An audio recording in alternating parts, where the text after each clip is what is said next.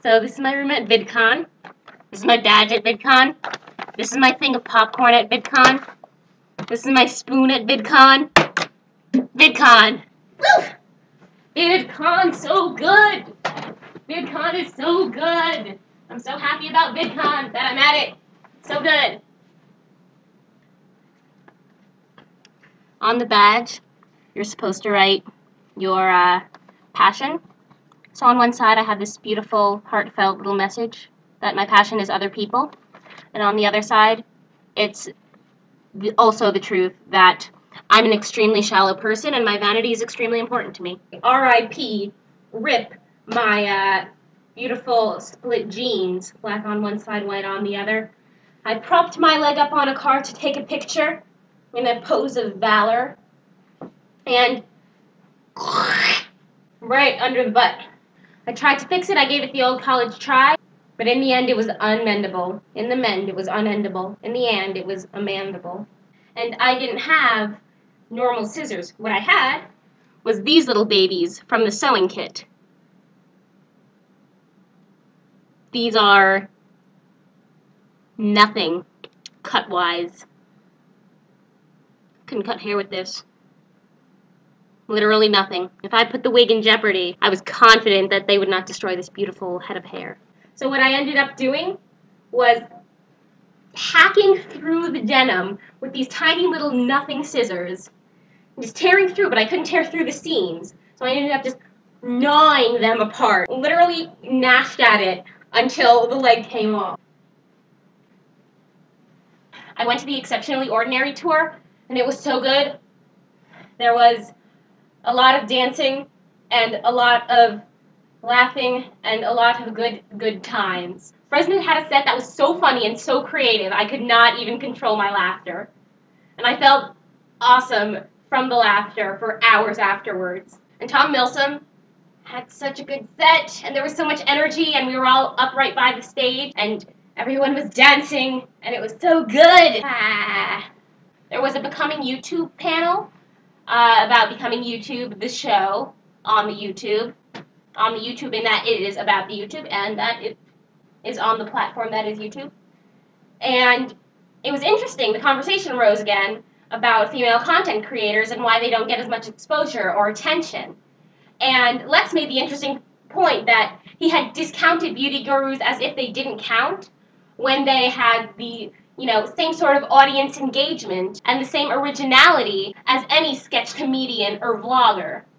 And she made the point that he had musicians, animators, sketch comedy people, vloggers, and that he leaving out beauty gurus was an oversight at least because because if you're making the point that female uh, content creators are being ignored while ignoring this female-led segment of YouTube, that you're missing out on a lot of important insight into the way YouTube functions, and especially the way it can function in a female-led space within YouTube.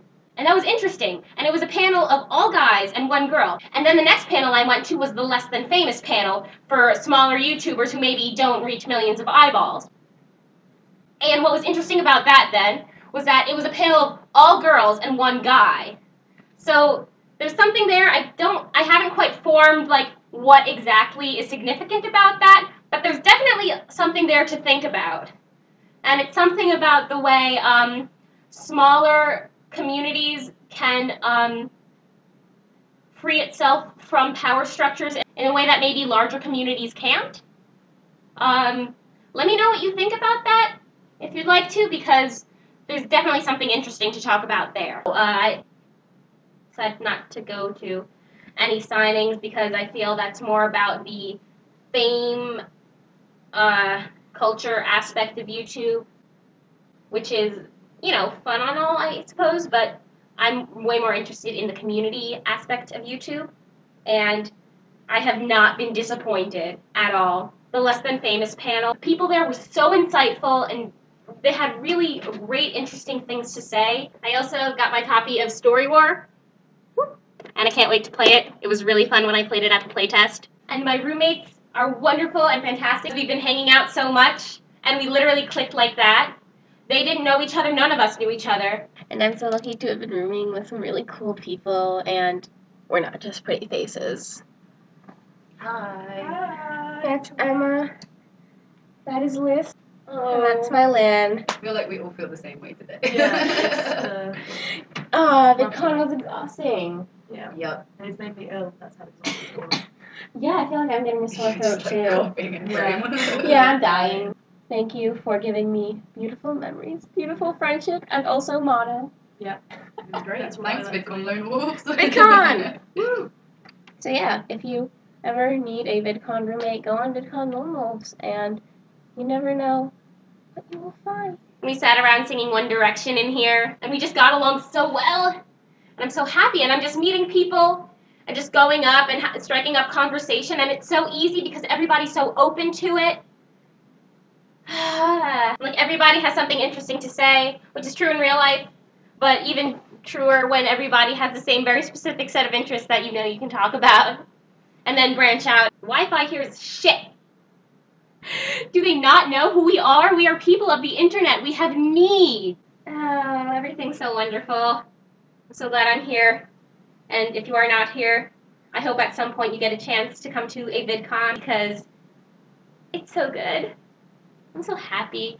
Oh, and it's such a fashion show here. If if a person's not decked out in like fandom wear, then they are like, you know, awesome colored hair, you know, cool pants, like, oh my gosh. And I talked to these two like little kids, like maybe eight or nine, maybe even younger, who made uh, YouTube videos, and they were really sweet. And I'm definitely gonna check out their channel. It's um, I wrote it on my hand, 240 reviews, and you know they were just so charming, and their dad was cool too. So it's really cool to see that even people so young getting into the community. I love it. Bye.